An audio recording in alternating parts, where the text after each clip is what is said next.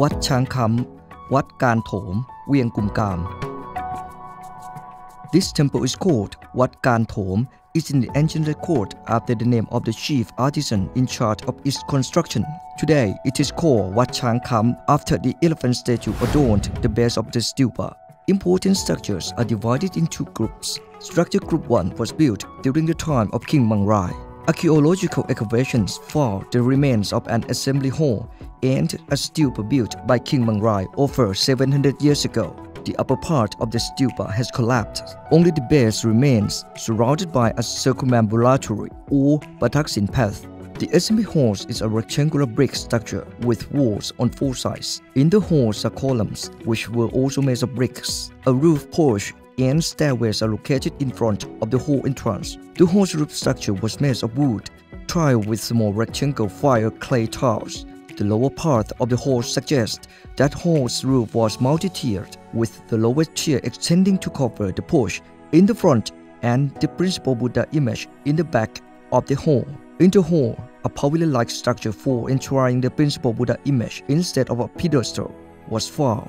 This pavilion-like structure resembles a pavilion-style stupa, but is smaller. This type of structure is commonly built to enshrine small principal Buddha images in temples other evidence, including stone inscriptions and worship tablets, suggests that this suggests that this temple dates back to the Haripunchai period. Structure Group 2 was built during the reign of King Rama V. This group consisted of an assembly hall and a stupa. The assembly hall is a large building with Lanna-style decorated roof thrust gateways, windows, and Naga bashboard.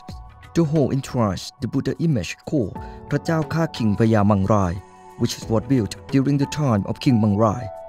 The image depicts the Buddha walking with the gestures of imparting fearlessness. In addition to this Buddha image, King Mangrai ordered the artisan Kan Thom to build one standing Buddha and three seated Buddhas, making it five Buddha statues in total. The stupa is a pavilion-style stupa resting on a three-tier lotus base with a stucco elephant on each side and a miniature stupa at the corner of the second tier base. The middle section of the stupa is decorated with niches enshrining standing Buddha statues and the Purnash Kalasha or pot of abundance.